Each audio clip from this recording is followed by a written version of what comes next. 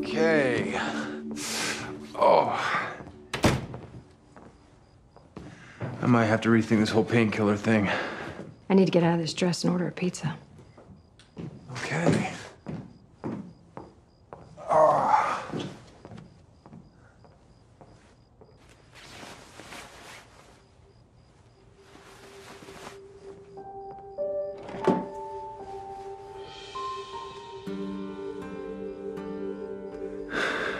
Ouch. This? Yeah, I had an accident when I was younger. I lost my spleen.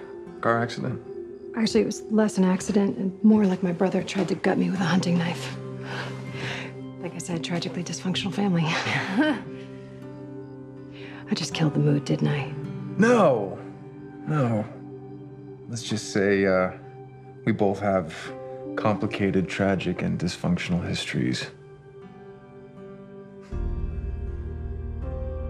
Guess we're a match.